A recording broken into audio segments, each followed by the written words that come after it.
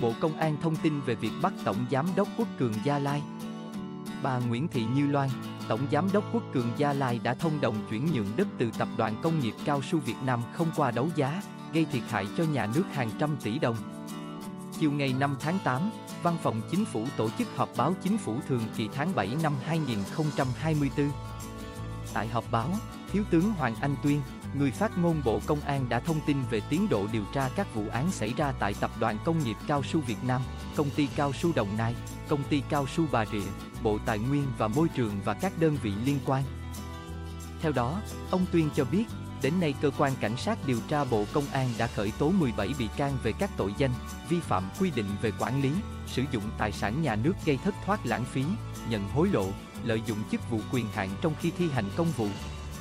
Vừa qua, ngày 18 tháng 7 năm 2024, cơ quan cảnh sát điều tra Bộ Công an đã khởi tố, bắt tạm giam bà Nguyễn Thị Như Loan, tổng giám đốc công ty cổ phần Quốc Cường Gia Lai về tội vi phạm quy định về quản lý, sử dụng tài sản nhà nước gây thất thoát, lãng phí. Bà Loan có dấu hiệu thông đồng với Lê Y Linh, Chủ tịch Hội đồng Quản trị Công ty trách nhiệm hữu hạn Retro Harvest Finance và Đặng Phước Dừa, nguyên Chủ tịch Hội đồng Quản trị Công ty Chính phủ Đầu tư Thương mại Việt Tín và các cá nhân thuộc Tập đoàn Công nghiệp Cao su Việt Nam. Công ty Cao su Đồng Nai, Công ty Cao su Bà Rịa ký kết các văn bản thỏa thuận, hợp tác đầu tư. Sau đó, bà Loan chuyển nhượng vốn góp để thâu tóm 100% vốn góp tại khu đất từ Tập đoàn Cao su Việt Nam không qua đấu giá, trái quy định của pháp luật để bán cho công ty cổ phần bất động sản Thịnh Vượng gây thiệt hại cho nhà nước hàng trăm tỷ đồng. Hiện, cơ quan cảnh sát điều tra Bộ Công an đang củng cố tài liệu, chứng cứ đối với sai phạm của các bị can đã khởi tố, đồng thời tiếp tục mở rộng điều tra vụ án, áp dụng các biện pháp theo luật định để thu hồi triệt để tài sản cho nhà nước.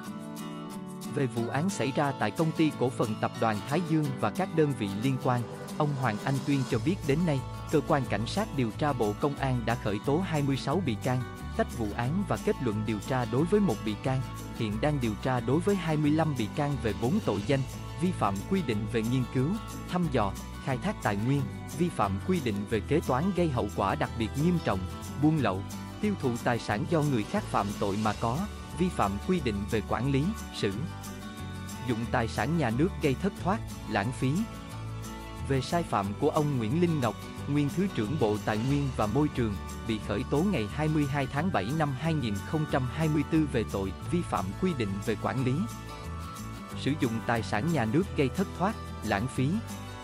Ông Nguyễn Linh Ngọc dù biết rõ tập đoàn Thái Dương chưa đủ điều kiện để cấp phép, nhưng vẫn đánh giá là đủ điều kiện và đề xuất ký ban hành giấy phép khai thác khoáng sản, giao nguồn tài nguyên đất hiểm cho tập đoàn Thái Dương khai thác.